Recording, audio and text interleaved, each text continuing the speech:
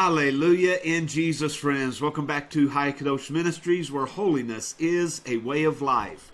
Jesus is truly King of Kings and Lord of Lords, and the Holy Bible is our only standard and authority for truth.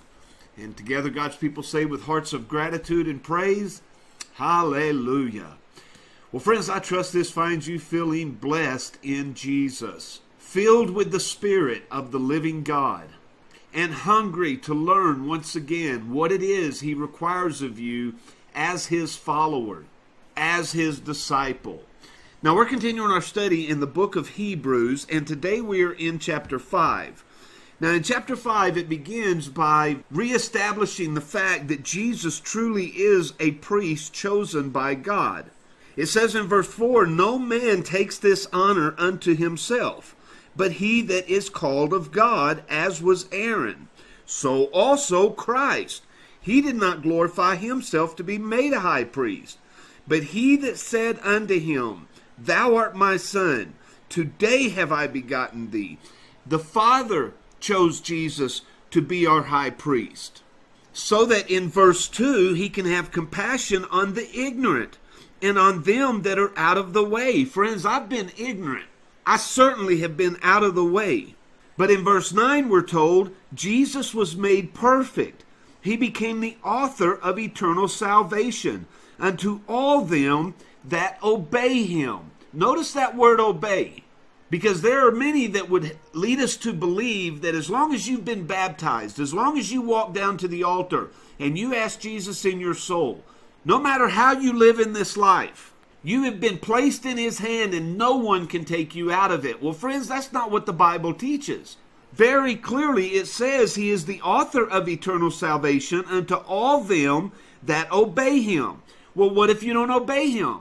Then you're not a partaker of the salvation that he authored. I cannot see how so many, I cannot understand how so many believe these things that are being taught. And the only conclusion that I can walk away with is that they're not reading their Bibles. And many who do read their Bibles only read it from an intellectual standpoint, a point of argument. And yet they are not looking at, they are not clinging to the truths and principles that can be applied in their life so they become obedient unto the Lord, whom they claim to be their King. And yet in verse 8, that's where I want to focus this morning. Because Jesus was made perfect, he became the author of our salvation. Because even though he were a son of the living God, yet he learned obedience by the things which he suffered. Jesus lived every day of his life in denial of the flesh, just as he calls you and I to do. He knows suffering because he learned suffering. And so Jesus awoke every morning with the same longings and desires in his flesh that you and I struggle with. And the Bible says this is how he became perfect before the eyes of the Lord in his human flesh by the things which he suffered. Now, when we read that, we automatically want to go to the last days of his life and think about the suffering that he endured through the persecution, through his trial, through the torture that he endured, and through being hung upon a cross. And yet, friends, I can assure you, Jesus suffered every day of his life because he understood the greater he suffered in his flesh, the greater the reward from the Father. The less he allowed his physical eyes to be catered to, the more his spiritual eyes were opened. And the reason that so many of us don't understand the spiritual things of the life to come is because we are so busy catering to our physical eyes. As John told us, the lust of the flesh, the lust of the eyes, and the pride of life. Now, unlike Jesus, oftentimes you and I suffer because of the bad choices that we've made.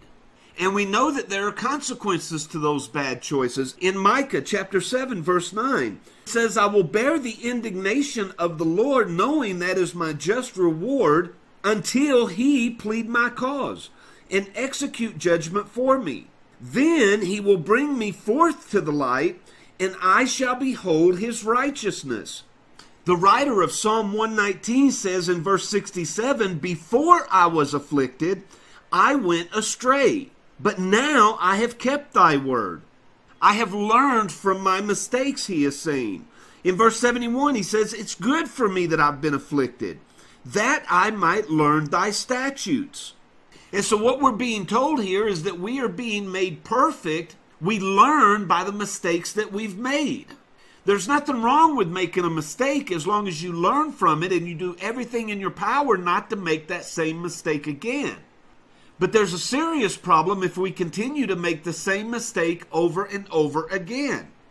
In James chapter 1, beginning at verse 2, he says, My brothers and sisters in Jesus, count it all joy or profit when you fall into divers temptations or divinely sent trials, knowing this, that the trying, the testing, the proving of your faith works patience.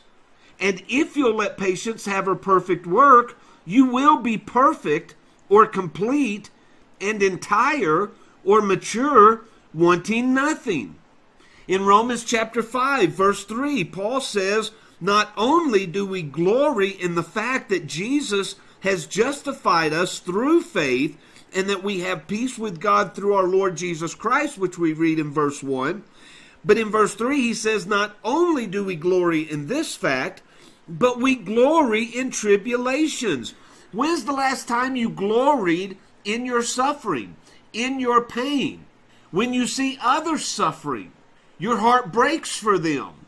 But the Bible tells us to glory in those tribulations, to glory in those times of pain, misery, and suffering. Why? Because we know it is these things that make us stronger. Tribulation works patience, patience works experience, and experience brings hope.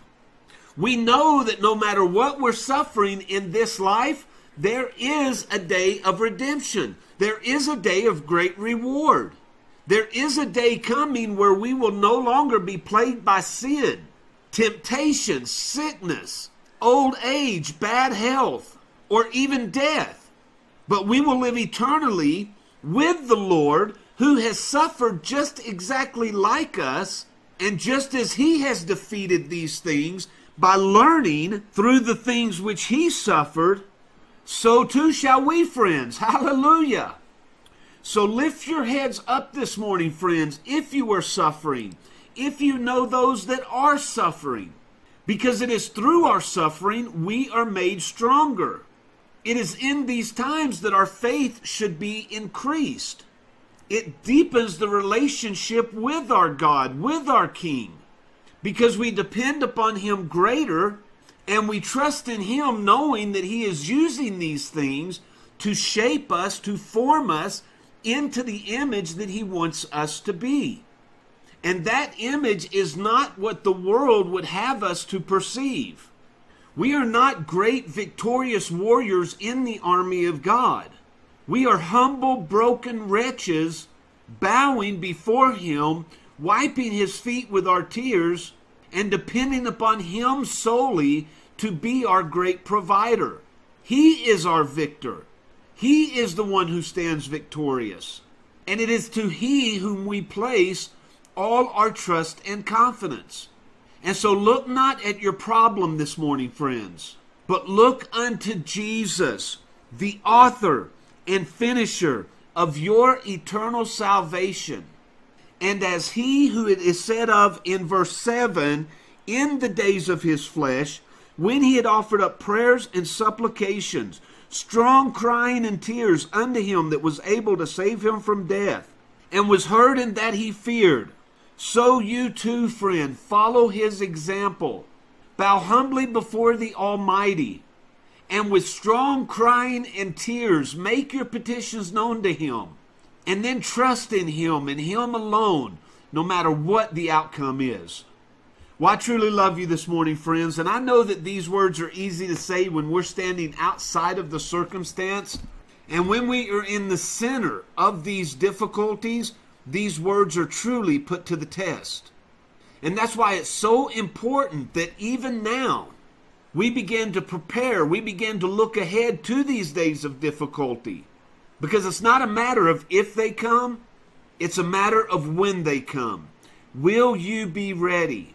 Will you stand in faith? Will you trust in Him alone? As He wills, and until next time, friends, I truly love you, and I'll see you on the next video.